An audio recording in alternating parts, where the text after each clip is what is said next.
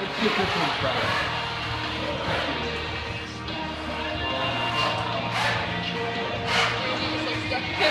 Yeah. Spinning in circles. Whoa. Whoa. Told you I don't like